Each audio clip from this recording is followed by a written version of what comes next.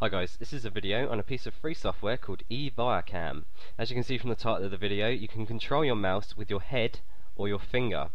So as you can see we have a box here, sort of like a light blue box. Now you can resize this if you need to, make it bigger or smaller depending on how big your head is. So if you've got a giant head, go ahead and make that a little bit bigger.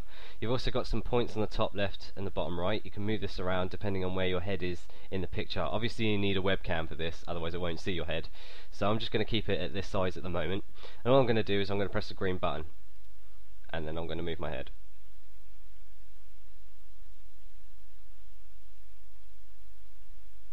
As you can see it's moving the mouse so if you go to click I'll try and get over to that box uh, I stick my tongue out and it clicks for some reason so or if I do any sort of movement it will click it so there we go, I stopped it now.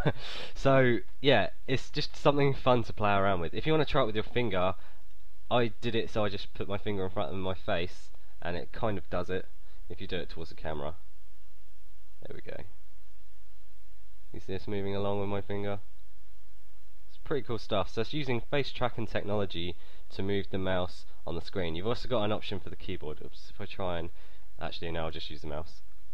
There we go, to try and stop it.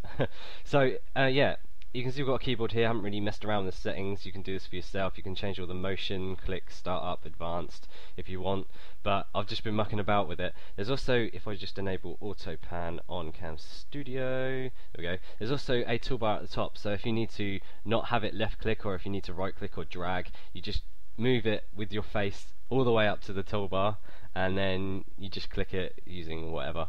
So I'd love to see some video responses of people using this because I think it'd be pretty funny uh, to see how people are using this. Try and draw a picture and paint with this software or something, I don't know. Whatever. So this is eViacam. Feel free to download it. It's absolutely free. So thanks for watching my video. Please comment, rate, subscribe if you like my videos, and thanks again.